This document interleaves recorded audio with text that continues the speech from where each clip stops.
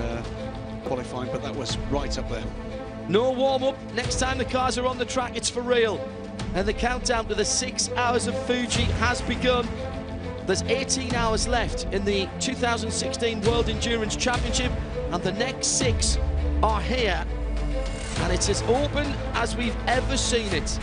The top manufacturers separated by half a second, and the rest of the field in every class just as tight.